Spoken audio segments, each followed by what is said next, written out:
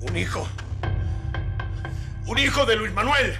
Sí, don Adolfo, esto es una prueba casera. Esto igual hay que comprobarlo. Hay un margen de error. Salió positivo y yo te escuché. Sí, don Adolfo, pero lo estoy explicando. Hay que hacerle una prueba de sangre, que esas son 100% seguras. ¡Fuera! ¡Fuera de esta casa, Moncada! ¡Fuera! Yo me voy a ir. Pero que ni se le ocurra hacerle daño a Natalia, sino yo mismo lo denuncio. Yo. ¡Lárgate de aquí!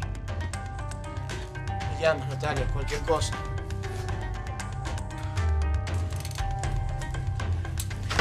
¿Cómo fuiste capaz? ¿Cómo fuiste capaz de hacerme esto, Natalia?